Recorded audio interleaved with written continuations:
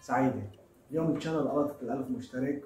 بدي أتشكركم كثير على هذا الشيء كل إنسان دعمني وكل إنسان عمل like و subscribe على كل إنسان حط comment إيجابي دعمني فيه أو حتى عمل لي نقد آه، لحسن بال channel بتشكركم.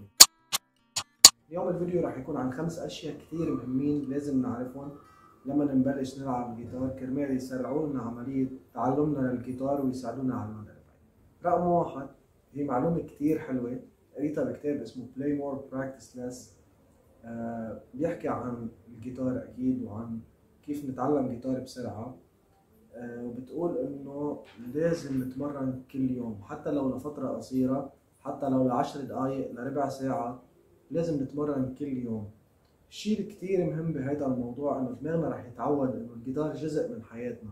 يعني مثل ما إنه بنفرش اسناننا بنغسل وجهنا بناكل رقم اثنين هو تنظيم ال practice sessions يعني ضروري التمرين تبعنا يكون مبني على قاعدة وهيدي النقطة كثير مهمة.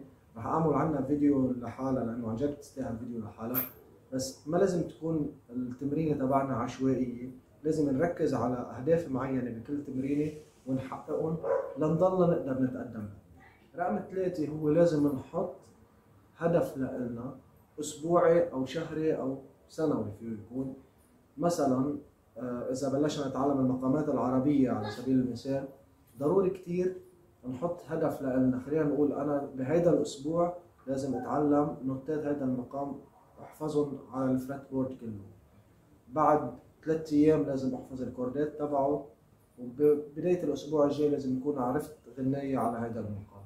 يعني total أسبوعين لازم تكون تعلمت غنية زائد المقام. هيك بنضلنا عنا دافع أكتر لنكفي وبنضلنا عارفين حالنا شو بدنا نتمرن بال session اللي بعدها وأكيد بنضلنا نتقدم.